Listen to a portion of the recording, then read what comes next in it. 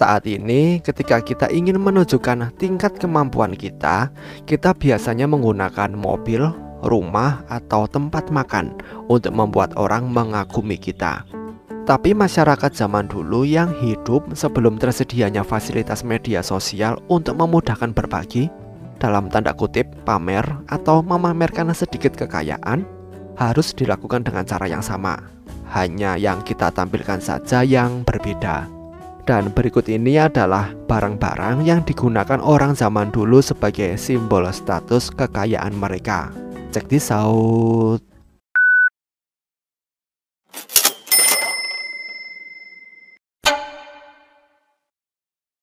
Pernahkah kalian memperhatikan jika kalian melihat lukisan orang barat di masa lalu, terutama para bangsawan mereka sekitar abad 16 dan 17? Mereka pasti mengenakan pakaian dengan kerah putih besar Benar kan? Kerah itu disebut roof collar.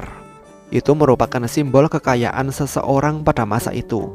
Semakin besar kerah, semakin bergengsi posisi seseorang di masyarakat karena kekayaannya. Warna putih itu dipilih untuk menunjukkan bahwa individu atau anggota keluarga mampu menggunakan mesin cuci yang bertugas memastikan bahwa kerah tinggi yang akan dikenakan selalu dalam kondisi terbaik setiap saat. Sekarang siapa pun bisa membeli gula, tapi zaman dulu gula merupakan simbol status kekayaan seseorang terutama pada abad ke-16 di Inggris.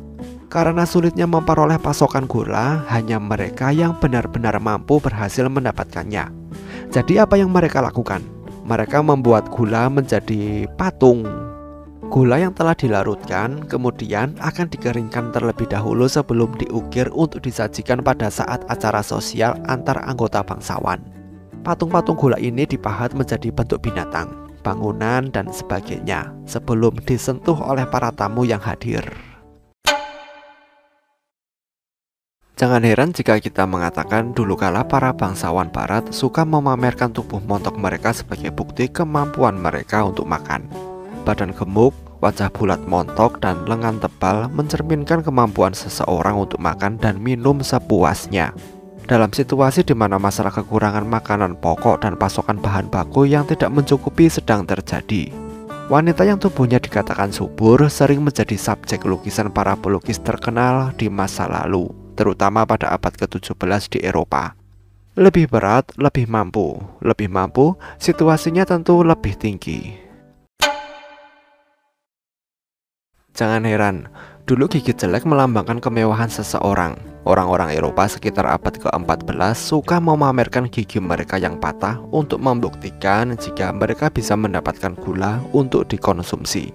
Budaya ini menjadi sangat populer sehingga beberapa orang sengaja menghitamkan gigi mereka dengan arang untuk mendiskreditkan diri mereka sendiri. Itu menjadi tren pada waktu itu.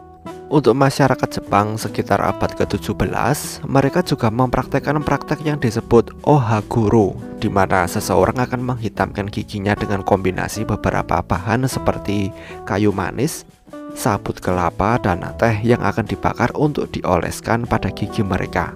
Ini karena ohaguro adalah tradisi lama masyarakat mereka yang sangat populer di kalangan bangsawan dan samurai untuk melambangkan posisi mereka di masyarakat. Baru sekitar akhir abad ke-19, pemerintah Jepang melarang praktek ini. Pernahkah kalian mengunjungi rumah teman dan dia memajang nanas di tengah rumahnya dengan bangga? Itulah yang terjadi pada orang Eropa di masa lalu karena buahnya atau buah nanas itu sulit untuk didapatkan dan harganya tentu sangat mahal.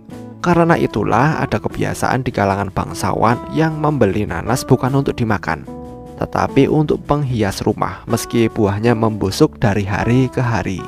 Kedudukan nanas dalam masyarakat Eropa kuno cukup tinggi, sampai Raja Charles II meminta agar lukisan dirinya disertakan dengan nanasnya pada abad ke-17.